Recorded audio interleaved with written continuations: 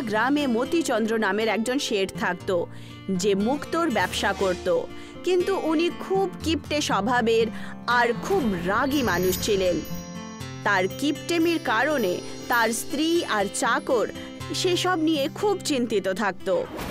একদিনের কথা, শেঠ মতিচন্দ্রের চাকর সত্তু রান্নাঘরে শেঠ মতিচন্দ্রের বউ বিমলার জন্য চা বানাচ্ছিল। তক্ষুনি মতিচন্দ্র রান্নাঘরে চলে আসে। এই সকাল সকালে রান্নাঘরে তুমি কি করছ সত্তু? আসলে মালিক মালকি নিজের জন্য চা তৈরি করেছিল সেটাই আমি তৈরি করছিলাম। কি? চা? কিন্তু এক ঘণ্টা আগেই তো তোমার মালকিন চা খেলো তাই না? উনি আমাকে বললেন যে চা তৈরি করার জন্য তাই আমি চা বানাচ্ছি তাই না? আমার বউটা আমাকে শেষ করে দেবে মনে হচ্ছে। সে কি আর জানে যে দুধের কত দাম হয়ে গেছে এখন? আমি এক্ষুনি ওর একটা ব্যবস্থা করছি। আর শোনো এই চা তৈরি করা বন্ধ করো তো। কিন্তু মালিক আমি চায়ের মধ্যে চিনি আর চা পাতা দিয়ে দিয়েছি। যদি দুধ না মেশাই তাহলে চিনি আর চা পাতা নষ্ট হয়ে যাবে। সত্তুর কথা শুনে মতিচন্দ্র রাগের চোটে নিজের স্ত্রীর কাছে চলে যায়। এসব আমি কি দেখছি বিমলা? তুমি আবার চা তৈরি করার চোখে দিয়ে। আরে চাই তো বানাচ্ছি বাবা। তোমার দশ বিঘা জমির ওপরে বাড়ি বানাচ্ছি না যে। তুমি কি জানো, বিমলা, যে মূল্য বৃদ্ধি কত বেড়ে গেছে? চা পাতা, চিনি, দুধ, এসব কত সস্তা ছিল আগে। আর এখন কত মূল্য হয়ে গেছে তার। তোমার একটু বাঁচিয়ে চলা উচিত। আর কত বাঁচাবো বলো? বছরে আগে পাঁচটা শাড়ি পরতাম, তারপর তিনটে, আর এখন একটা। আর তারপর সেটাও শেষ। তিন বছর ধরে একটাই শাড়ি ধুয়ে ধুয়ে পরে যাচ্ছি আমি। কতবার বলেছি তোমাকে, একটা নতুন শাড়ি কিনে দাও।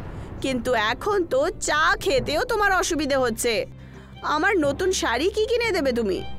তক্ষুনি ওখানে মতিচন্দ্রের চাকর, বীরজু শেঠ হীরাচন্দ্রের সাথে উপস্থিত হয়ে ওঠে। শেঠ হীরাচন্দ্রের হাতে হিরে আর মুক্ত দিয়ে বানানো একটা কলসি ছিল।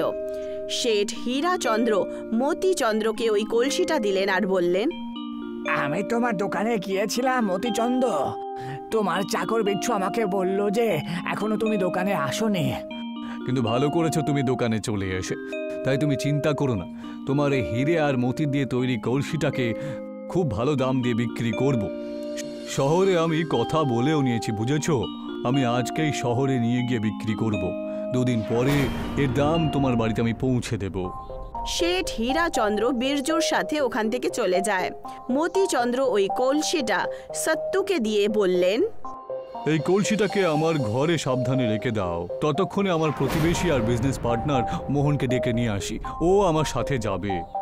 সত্তু সেই কলসিটাকে শেঠ মতিচন্দ্রের আলমারিতে রেখে দিল। কিন্তু ও সেটা জানতো না যে ওই রুমে বীরজু আগে থেকেই লুকিয়ে দাঁড়িয়েছিল। বীরজু কলসিটা চুরি করে জানালা দিয়েই বাইরে চলে যায়। মতিচন্দ্র নিজের পার্টনার মোহনের সাথে আবার চলে আসে। যাও ওই কলসিটা নিয়ে এসো তো।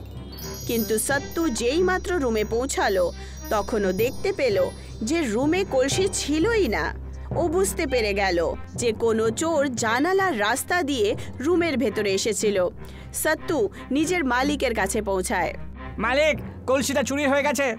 তোর মাথা ঠিক আছে তো হ্যাঁ? পাঁচ মিনিটের মধ্যে কলসি কি করে চুরি হতে পারে? পরিষ্কার করে বল কলসিটা কোথায় লুকিয়েছিস তুই হ্যাঁ আমি কিছু করিনি মালিক। মনে হচ্ছে আগে থেকে কেউ ওখানে ঘাপটি মেরে বসেছিল বুঝেছেন? জানলাটা খোলা ছিল?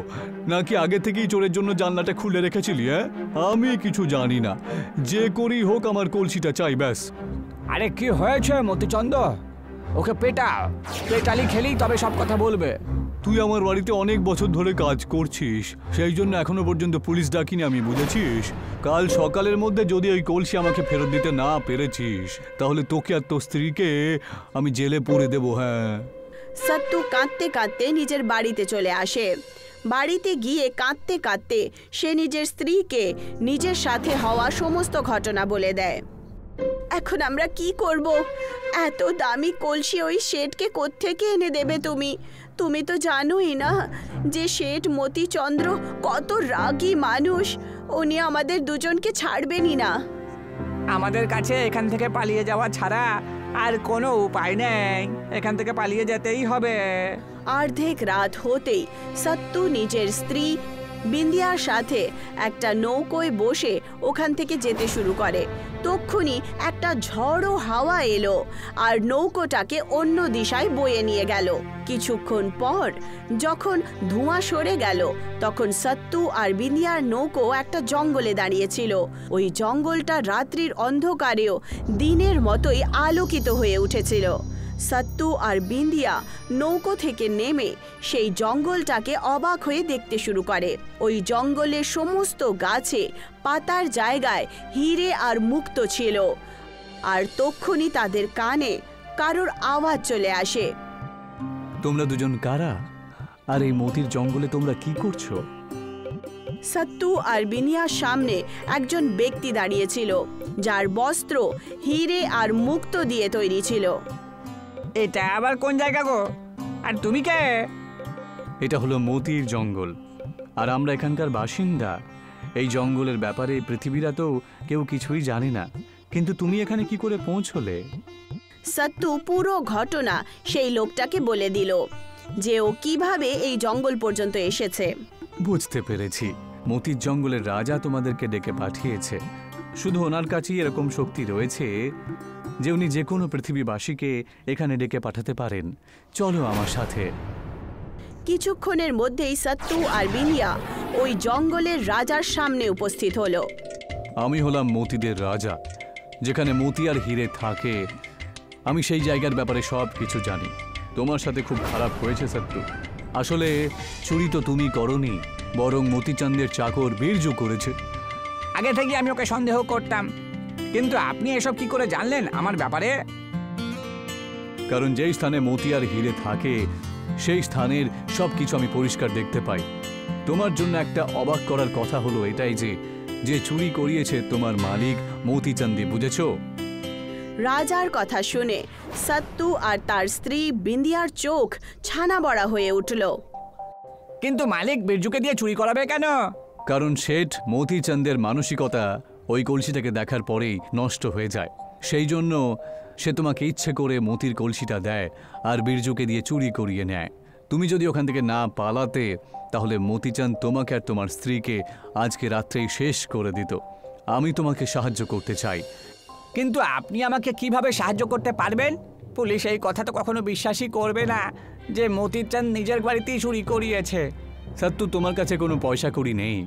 আর তোমার জগতে যার কাছে পয়সা কড়ি নেই, তাকে কেউ কোনোদিনই বিশ্বাস করতে পারে না। তুমি এখান থেকে যত চাও, হিরে, মতি নিয়ে চলে যাও। এগুলো বিক্রি করে তুমি বড়লোক হয়ে যাও। আর যখন তুমি বড়লোক হয়ে যাবে তখন তোমার সব কথা শোনার জন্য রাজি থাকবে সবাই। রাজা সত্তুকে অনেকগুলো হিরে আর মুক্ত দিয়ে দিলেন। সত্তু অন্য শহরে গিয়ে ওই সব কিছু বিক্রি করে অনেক ধনী হয়ে উঠল। কিছুক্ষণ পর সত্তু পুলিশকে নিয়ে মতিচন্দ্রের বাড়িতে পৌঁছায়। মতিচন্দ্র সত্তুকে চিনতেই পারল না। এনাকে গ্রেপ্তার করুন ইন্সপেক্টর বাবু। ইনি শেঠ হীরাচন্দের কলসি চুরি করেছিলেন। এসব কি আজে বাজে কথা বলছো তুমি হ্যাঁ? কে তুমি? আমাকে চিনতে পারলে শেঠ মতিচাঁদ আমার উপরে অপবাদ দিয়ে তুমি আমাকে নিজের বাড়ি থেকে তাড়িয়ে দিয়েছিলে তাই না? আর রাত্রে আমাকে আর আমার স্ত্রীকে খুন করার একটা প্ল্যান তৈরি করেছিলে। শেঠ মতিচন্দ্রের চোখ খুব অবাক হয়ে উঠল। উনি চিনতে পেরে যান যে সামনে দাঁড়িয়ে থাকা দ্বিতীয় শেঠ অন্য কেউ নয় বরং তার চাকর সত্যই ছিল। তুই এত বড় লোক কি করে হয়ে গেলি সত্যু? এই ব্যাপারে তুমি কোনোদিনও জানতে পারবে না মতিচাঁদ। এখন তোমার সারা জীবনটা জেলেতেই কাটাতে হবে হ্যাঁ। কারণ বিরজু নিজের অপরাধ স্বীকার করে নিয়েছে। তক্ষুনি কিছু পুলিশওয়ালা বীরজুকে নিয়ে ওখানে পৌঁছে যায়।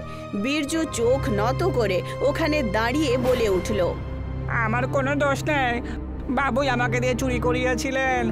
আর ওই কলসিটা বিক্রি করে সমস্ত পয়সা হজম করে নিয়েছেন। আর শেঠ হীরাচান্দের এটাই মনে হয় যে, কলসিটা আসাত্তু চুরি করেছিল। আর রাত্রে গ্রাম ছেড়ে সে পালিয়ে গেছে। পুলিশ বিরজু আর মতিচন্দ্রকে গ্রেফতার করে জেলে পুরে দিল।